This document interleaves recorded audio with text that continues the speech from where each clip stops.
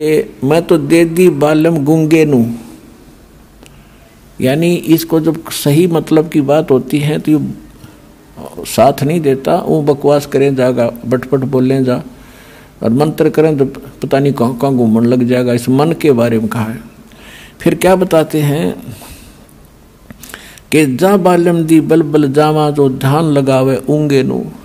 यानी उस जब आपका मन इतना सद जाएगा, सीधा हो जाएगा कि संसारिक झंझटों को और अनुपासना को छोड़कर और परमात्मा की तरफ़, यानी उंगे को इंगे और उंगे इधर उधर, इधर यहाँ काल के लोक में अरुंगे ने उधर को सतलोक में, उस मन की मैं बलिहारी जाऊँ जो उस परमात्मा की तरफ़ ऊँगे को ध्यान लगाता है। और गरीब दासियों साखा सुख बीज न बोया ढूँगे ढूँगे माने गहरा बीज न बोने वाला, यानी ऊपरले मनते जो भक्ति करता है, वह कामयाब नहीं होगी जब तक हृदय में कसक बना के और सच्चे दिल से भक्ति नहीं करोगे तो वो तुम जो गहरा बीज बो रहे हैं, उनका बीज अच्छा उगता है और जो ऊपरे डाला वो बीज सूख जाता है। वो नष्ट हो जाता है। तो यहाँ कहते हैं, गरीब दास दासियों साखा सुख है बीज न बोया ढोंगे लो। अब पुणात्माओं सौभाग्य आपका कि आपको ये अनमोल वचन सुनने को मिल रहे हैं। ये काम कहते हैं, समझा है तो सिर धर पाओ और बहोर नहीं रे ऐसा दाव। सुखदेव ने चौरासी भुगती, बिना पजावे खरवो।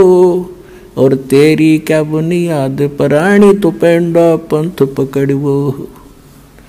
कहते हैं, सुखदेव जैसे ऋषि ने साधनाएँ भी की, फिर भी यहीं भटकते रहे। और तेरी क्या बुनियाद प्राणी छोटी मोटी साधना अनुपासना करके आप मोक्ष चाहते हो तो पेंडा पंथ पकड़ो कौन सा पंथ, कौन सा मार्ग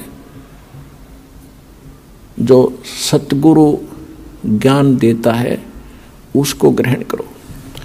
अपने आत्माओं, एक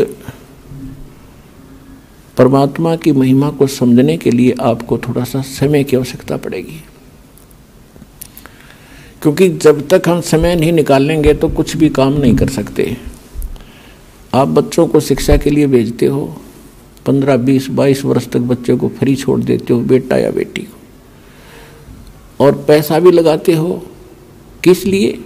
क्योंकि आप परिचित हो इस बात से कि लड़का लड़की शिक्षित हो गया तो इसका रोजी रोटी ठीक मिल जाएगी।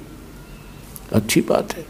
और इसी प्रकार जब आपको इस बात का ज्ञान होगा कि मनुष्य जीवन किस लिए प्राप्त हुआ है, इसका मूल उद्देश्य क्या है तो आप फिर इतना ही ज़ोर, इतना ही समय और समर्पण इस साइड में हो गए और उधर जैसे लड़के पढ़ गए, खूब M A B A P H D C A कर लिया, और नौकरी कौन सी सबको मिलेगी?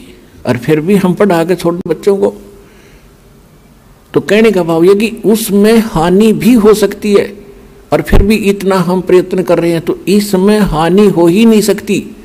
लड़का लगो चाहे लड़की भक्ति मार्ग पर सारे ठाठ भगवान करेगा, या जो रोटी भी देगा, और उसकी रक्षा भी करेगा, और मोक्ष भी मिलेगा, सदा के लिए सुख भी होगा।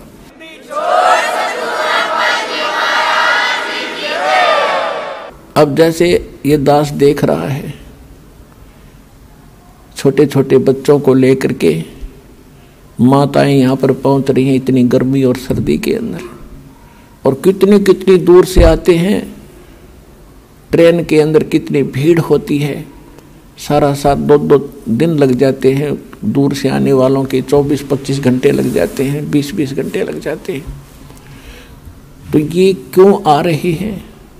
जैसे किसान, खासकर हरियाणा क्षेत्र में, हम देखा करते थे, हमारे पिताजी और अन्य गाँव के लोग, रात्रि के समय जैसे आज कितनी सर्दी है जनवरी में कितनी सर्दी होती है और खेत में किसान का नहर से पानी का नंबर आ जाता है। रात के 12 बजे जनवरी का महीना और शीत लहर चल रही होती है। अब हम तो कमरे बंद करके खिड़की द्वार सारे रजाई ओढ़ कर सोना पड़ता है कि ठंड ना लग जा। और किसान एक कंबल खेस ओढ़ के और खेत में पहुँच जाता रात के बारह बजे उसी शीत लहर में। वो बिल्कुल आलस नहीं करता और जब उसके नंबर आता है नहर से पानी लगाने का, उस कंबल खेस को भी उतार के नीचे रख देता साइड में और जल के अंदर घुटनों पानी में बढ़कर कस्सी से वो पानी बंद करता है। अब वो किस लिए कर रहा है ऐसा काम, उसको मालूम है। कि ये थी आज मैं सिंचाई करने नहीं गया और मेरा नंबर कट जाएगा। फिर ये नंबर मिलेगा, नहीं, इतने मेरी फ़सल सूख जाएगी और मेरे बच्चे भूखे मर जाएँगे, मैं निर्धन हो जाऊँगा। क्योंकि किसान उस प्रोसेस से, उस प्रोसीजर से पूर्ण परिचित है। इसलिए वो ना ये देखता तेरा नमूनिया हो जाएगा। रात के समय ये भी नहीं देखता कोई सांप काट जाएगा। नहीं, वो काम करके छोड़ तो सफल हो गया। इसी प्रकार यहाँ वही आ सकते हैं जो उस किसान की तरह इतने प्रभावित हो चुके हैं और संतोष हो चुका है और उनको पूरा ज्ञान हो चुका है कि यो काम तब करना ही पड़ेगा, चाहे मरे, चाहे जीवें। पर भगवान के भगत मरया नहीं करते, जिया करते हैं और सदा सुख मिला करते